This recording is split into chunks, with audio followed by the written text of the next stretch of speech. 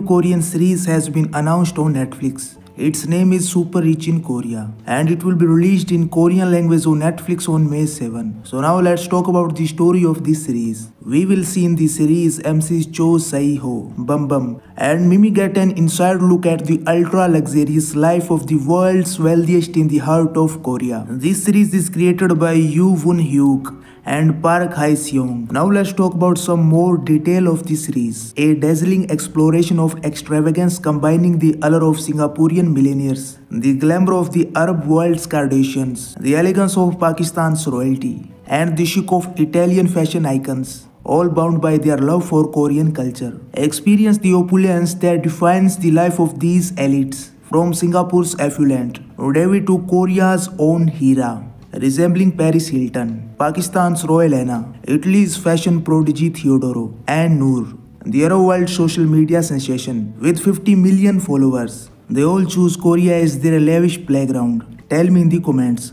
how excited you are about the Super Rich Korea series. I will see you in the next video.